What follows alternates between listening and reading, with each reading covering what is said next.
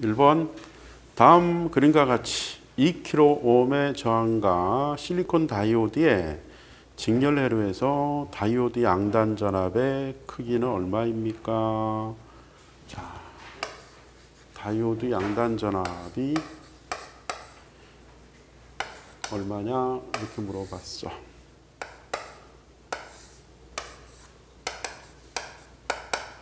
그러면 여기는 오프지 오프. 오프는 끊어진 거나 마찬가지야. 답은 7V. 2번 콘덴서 이용한 필터의 출력에 니플 전압이 발생하는 이유는 자 콘덴서를 이용한 필터 니플은 왜 생기겠어요? 바로 예를 들어서 충전과 뭐 이런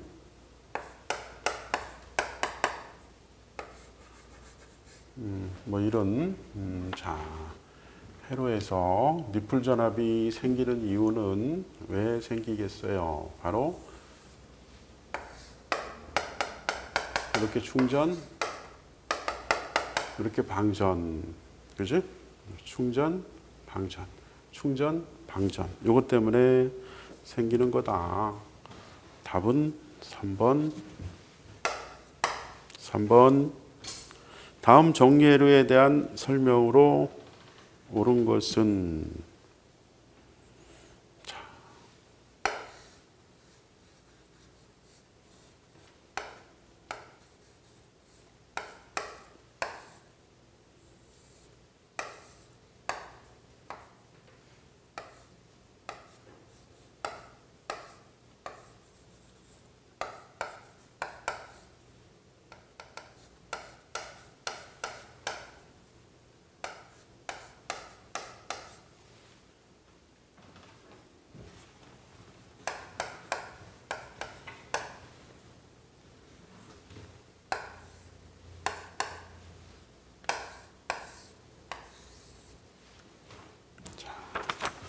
그래서 이게 뭐예요? 바로 브리지 정류회로는 peak inverse voltage가 VM이기 때문에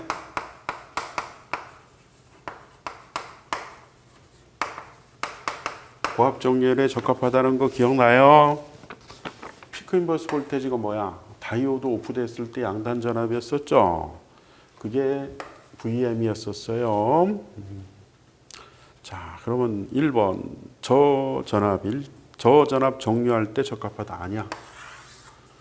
2번 VS가 양의 전압일 때 RL 양단에는 전류가 흐르지 않는다. 플러스가 되면은 온, 온 이렇게 돼서 이렇게 전류가 흐르지. 틀렸어. 3번 RL에 걸리는 전압의 최대치는 T의 2차 전압의 최대치에 가깝다. 그렇게 했지. 여기 온, 온 됐으니까 여기 전압이 여기 전압에 요거하고 거의 같지. 물론 약간 그 전압 강화는 있겠지만 거의 가깝다. 맞아요. 정답은 3번. 4번 다이오드에 걸리는 역방향 전압의 최대치는 T 2차 전압의 최대치 2배 아니지? VM이지? 자 그럼 한번 봐봐 여기가 오프 여기가 오프면은 여기는 얼마 걸리겠어 여기는 요거 따라가고 요거 따라가면 여기 VM 걸리는 거 맞아? 음, 그래서 다이오드 off시 양단 전압이 peak inverse 음, voltage다 라는 거. 음? 4번 병렬 저항형 이상형 발진 회로에서 1.6kHz의 주파수를 발진하는데 필요한 저항값은 얼마입니까? C는 0.01 마이크로패럿이다. 자, 병렬 저항 이상형은 음,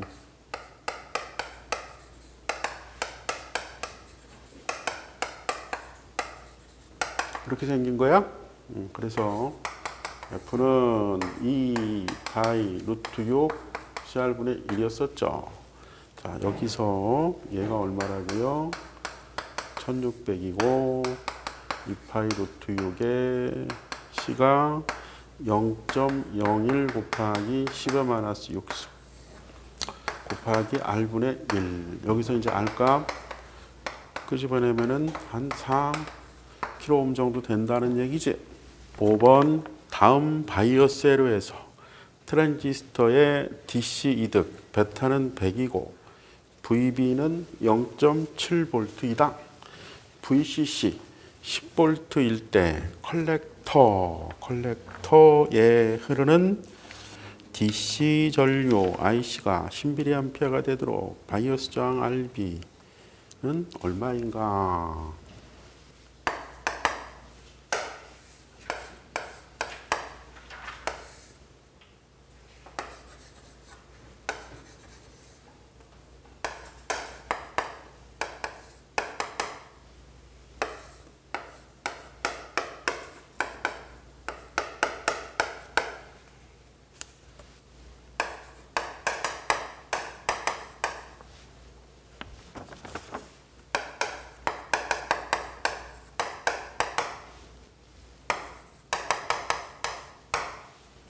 자, 조건 한번 봅시다.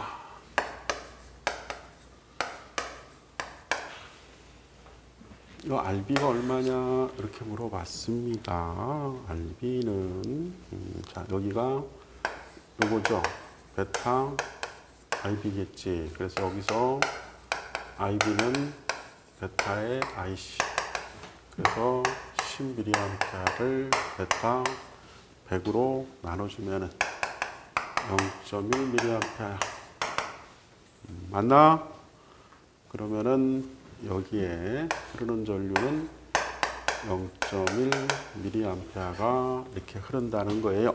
음, 그래서 이렇게 KVL로 올라가면은 0.7 플러스 어, 0.1mA 곱하기 RB 이꼴 20이라고 나오나? 그래서 RB는 음, 음? 아 이게 10이야? 10 그럼 뭐 10, 0.7에 음. 음. 아주 간단하지? 음. 정답은 4번입니다.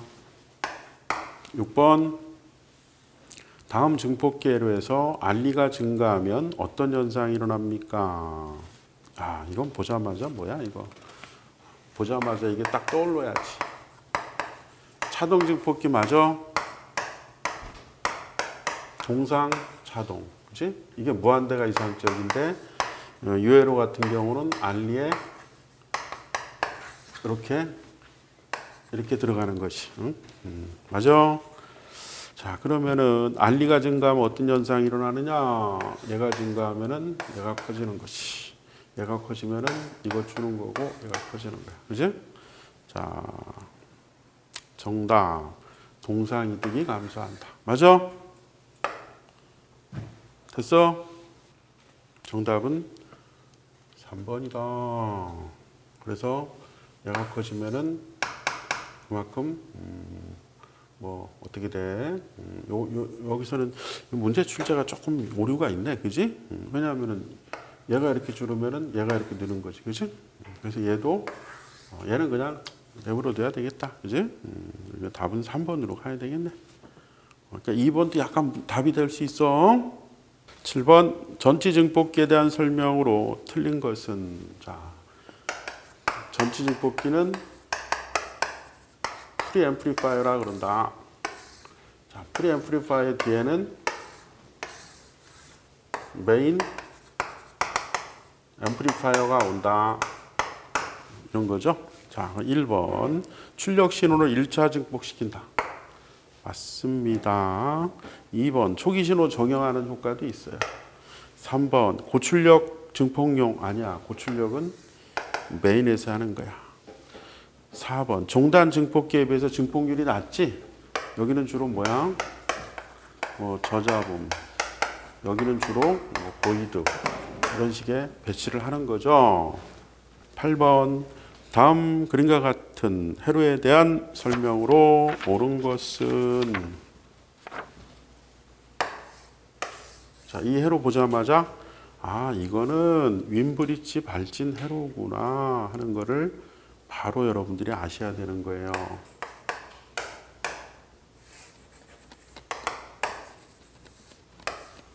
음, 요건 이득 결정하는 거다.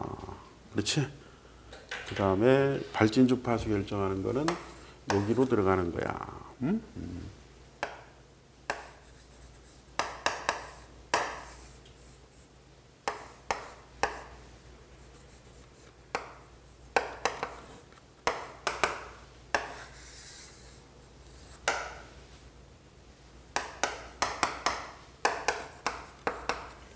여기가 발진 주파수 결정하는 거야. 여기는 이득을 결정하는 거예요.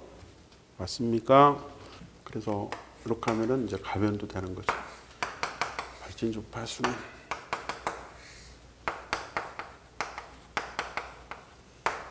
그렇게 돼?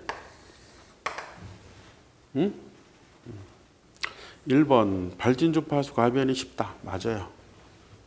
2번 고주파가 아니라 이거는 음, 저주파. 3번 틀렸어. 4번 증폭기 이득은 29가 아니고 얼마?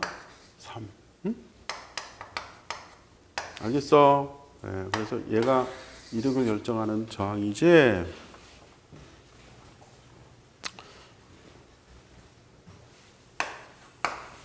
9번 다음 중 비반전 연산 증폭기에 대한 설명으로 옳은 것은 자 비반전은 OPM프가 자 보세요. 비반전은 어떻게 생겼는지 여러분들이 잘 보셔야 돼 자 OPM프는 단자가 이렇게 두 개가 있어요. 이렇게 하면은 비반전은 여기서 신호를 집어넣겠다는 거지. 음. 그래서 이렇게 되면은 이거는 비반전이야.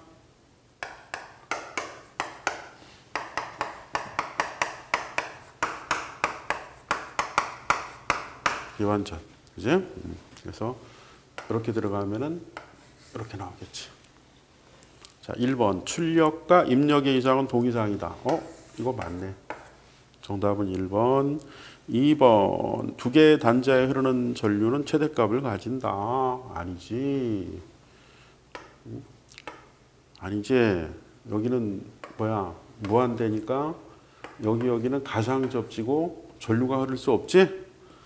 3번 입력 단자 전압은 0이다. 아니에요. 4번 페르프 이득은 항상 1보다 작다. 아니에요. 1보다 크죠. 정답은 1번. 10번. 다음 회로의 동작점으로 알맞은 것은 베타는 50, VB가 0.7.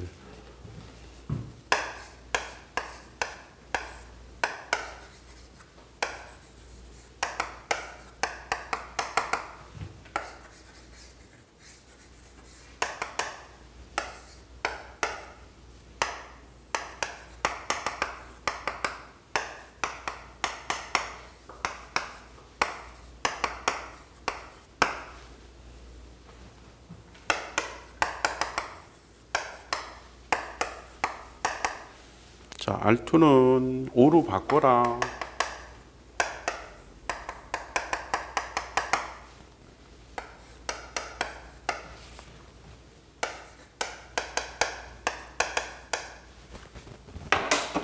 되겠어? 음. 자, 그러면 자, 근사 해석을 하자. 여기 여기 흐르는 전류가 같다고 논다면 요 전압은 얼마야? 한 1.2V 정도 나오지. 그럼 여기서 0.7 빼면은 여기 전압은 0.5V 정도 나와. 그러면은 I는 R2에다가 이 0.5에다가 1kg 0.5mA 맞나? 0.5mA가 흘러서 여기서 1V 음, 여기서 4V 음, 그러면은 여기는 대략 얼마? 어, 15V 정도가 나온다 되겠어? 굉장히 빠르지? 여기 구하는 걸할수 있겠어? 전압 분배니까 맞아? 음. 원래 여러분들 나한테 이거 배웠을 때 원론적으로 어떻게 배웠어? 어, 뭐 이거는 뭐 아주 기사 수준이니까 뭐 레벨을 높게 생각하면 안 돼. 태분양 정리 쓰라 그랬던 것 같아. 태분양 정리 그리고 자, 이 태분양 정리 써서 태분양의 저항과 태분양의 등가 임피던스. 그래서 여기가 VB이면은 빨리 봐. 여기에 흐르는 전류 어떻게 계산하라 그랬어? 여기서 KVL을 적용하면은 VB에서 VB 빼고 RB에서 1 플러스 베타의 RE 여기 RE라면은 여러분들 이런 식 같은 거 여러분들 다 해드렸잖아 맞아? 음, 기사 문제인데 뭐 이렇게까지 풀 건 없어 음, 기사 문제는 가장 난이도가 쉬운 시험 문제야. 그러니까 내가 지금 얘기한 자 여기 전압 계산해서 내리면 요 전압 여기 여기 전압 강화 오hm 법칙 알아? 아 그랬더니 왜 15예요? 아니 기사 문제인데 뭘 그렇게 신경 써 그냥 15.5나 15나 뭐 그게 그거 아니야? 이게 만약에 7급이나 뭐 그런 문제는 이런 식으로 풀어 나가야 돼. 11번 9600 bps의 BTR을 16진 PSK로 변조하여 전송하면 변조 속도는 자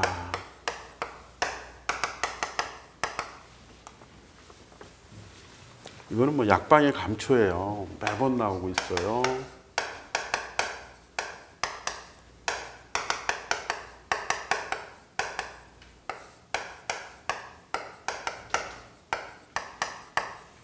이거를 보드라고도 얘기하죠.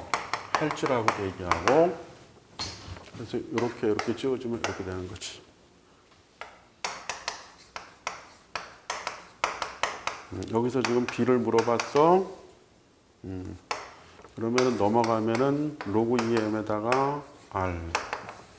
자, 여기는 9600. 로그 2에다가 16. 그러면 요거는 4, 9600 답은 2400 보드.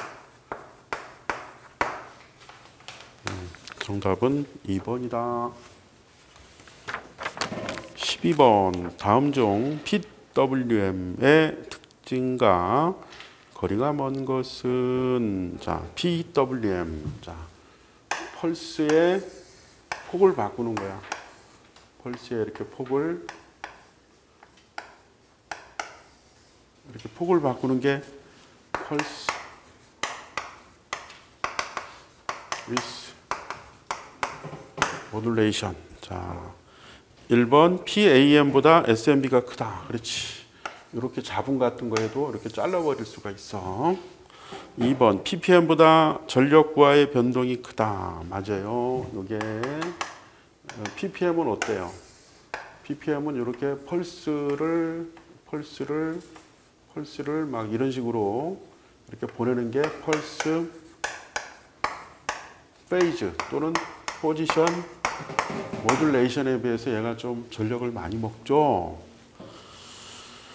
3번 LPF를 이용하여 간단히 복조할 수 있다. 예, 바로 LPF는 여러분들이 요거를 LPF는 요신호 집어넣으면 충전과 방전이 되면서 예, 신호 복조할 수가 있어요. 음? 한번 해볼까? 음, 어려운 친구들. 음. 자, 여기서 이제. 음.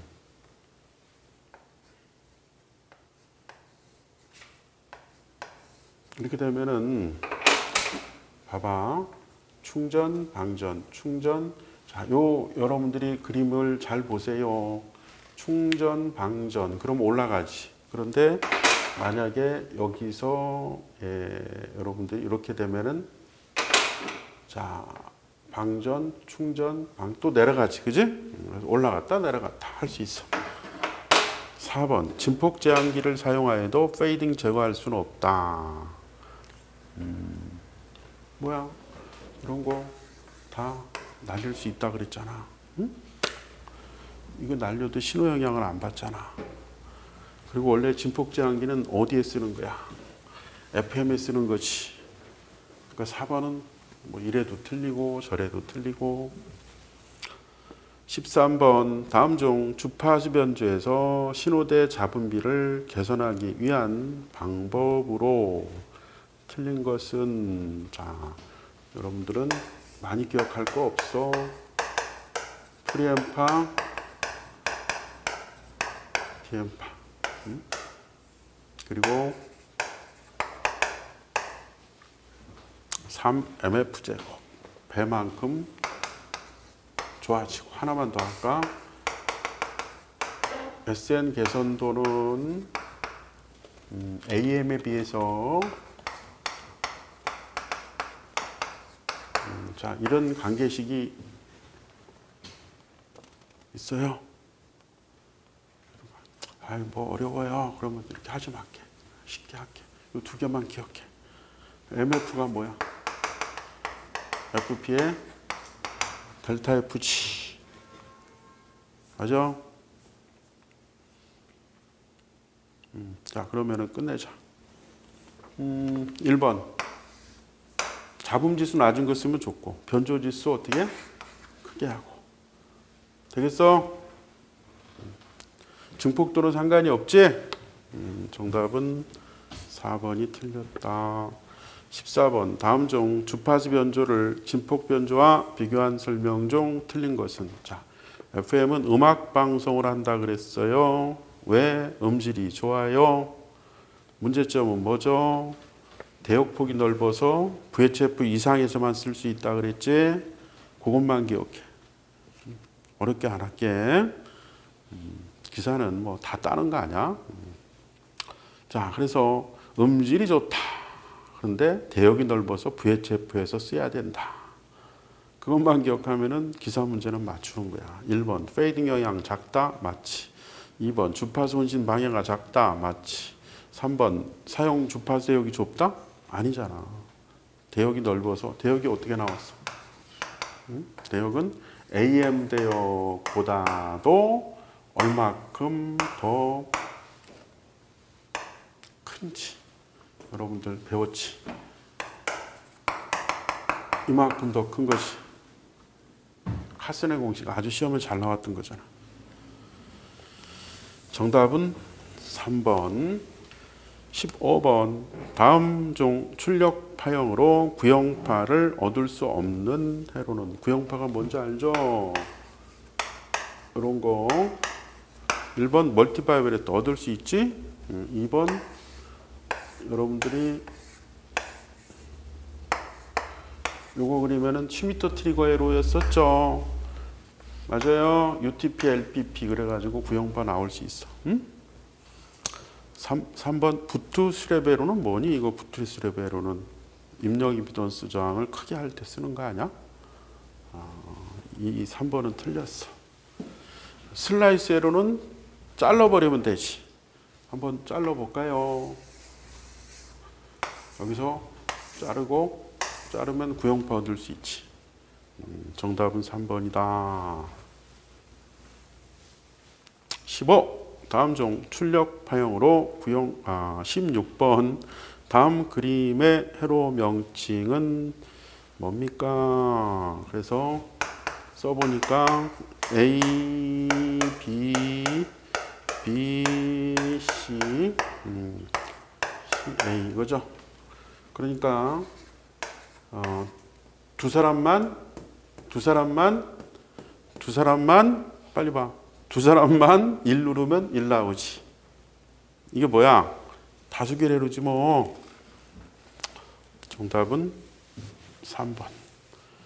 17번 25진 ripple counter를 설계할 경우 최소한 몇 개의 플립플롭이 필요하냐? 자, 이것도 보너스. 자, 요게 플립플롭의 수예요. 그래서 여기가 얼마라고요? 25예요. 그러면 요 식으로 계산하면은 요 n은 이제 얼마가 돼야지 되겠습니까? 그러면 얘가 32가 되니까 다섯 개 맞아? 음, 정답은 다섯 개. 18번 다음 그림과 같은 회로의 출력은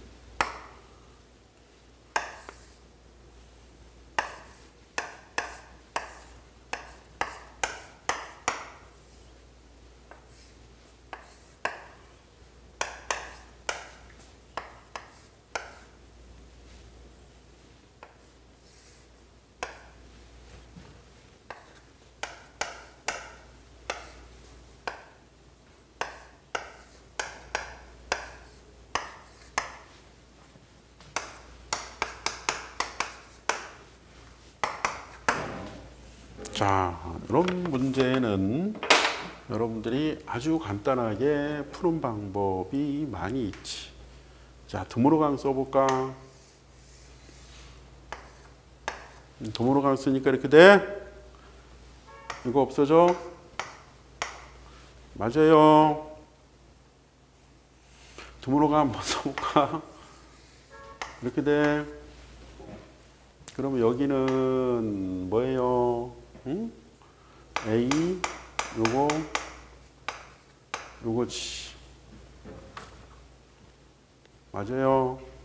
그러면은 자 여기는 이거고. 음. 자한데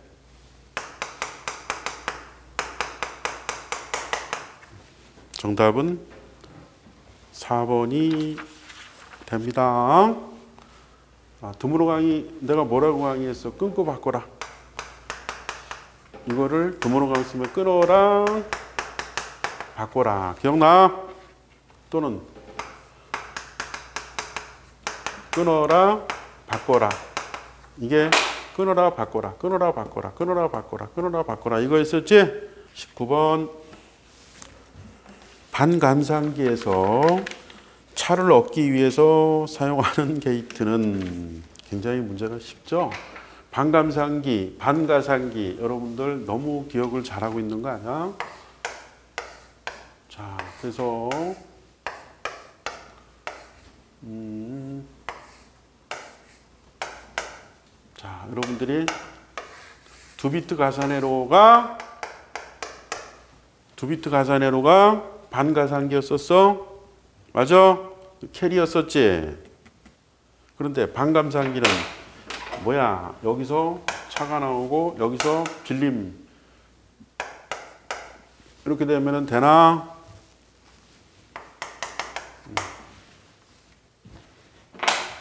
되겠어? 오케이? 이건 뭐야? 이제 이거는 반감산기가 되는 거야. 응? 감산기. 가산기가 아니고. 응? 정답은 차를 얻기 위한 거니까 이게 차니? 이거네, 그지? EX-OR 게이트. 20번 다음 중 슈미트 트리거 회로에 대한 설명으로 틀린 것은 입력이 어느 레벨이 되면 비약하여 방형 파형을 발생시킨다. 맞습니다. 입력 전압의 크기가 on/off 상태를 결정한다. 맞습니다. 펄스 파형을 만드는 회로로 사용한다. 맞습니다. 여러분들이 10m 트리거 그러면은 뭐가 생각나요? 히스테리시스 뭐 이렇게 할까요 이번에? 이거지? 그래서 여기가 UTP, LTP 맞아요? 그럼 4번이 틀렸잖아. 이 안정 상태가 하나, 둘, 그지? 음, 정답은 4번.